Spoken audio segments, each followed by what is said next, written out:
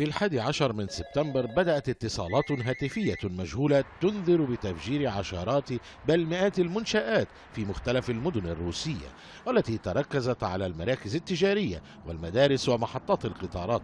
السلطات الأمنية التي تلقت مئات الإنذارات الهاتفية الكاذبة اعتبرت أن هذه الحملة يتم تنظيمها من قبل مركز محدد وواحد يستهدف إشاعة الفوضى وإنهاك قوات الأمن. وخلال يومين في مدينة واحدة هي سراتف اضطرت قوات الأمن بإخلاء عشر مدارس وثلاثة معاهد والسوق المركزي وبعض المراكز التجارية ومحطة القطارات والمطار ما تسبب في خسائر وصلت إلى نحو خمسة ملايين دولار. لا شك أن هذه الاتصالات لا تحمل القوات الأمنية عبئا كبيرا يؤثر على عملها اليومي فقط وإنما تسبب خسائر مالية فقد وصلت إلى أكثر من عشرة ملايين دولار. موجة الإرهاب الهاتفي اجتاحت نحو عشر مدن روسية لتجبر قوات الأمن على إجلاء أكثر من نصف مليون مواطن من 1200 مبنى ومركز تجاري ومدرسة.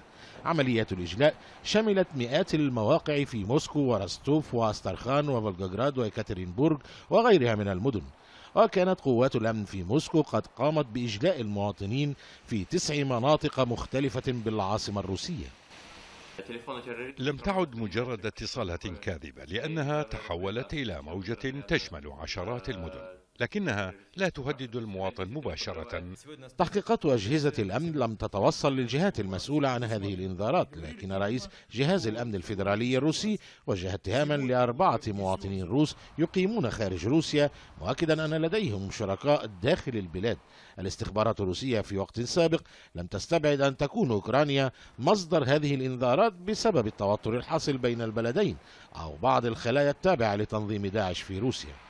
وقد تكون الإنذارات الهاتفية الكاذبة نوعا من أنواع الإرهاب لما تسببه من إنهاك للسلطات الأمنية لكنها لا تشكل خطرا يهدد حياة المواطنين.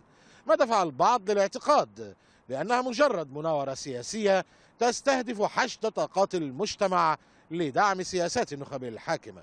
مازن عباس العربية موسكو.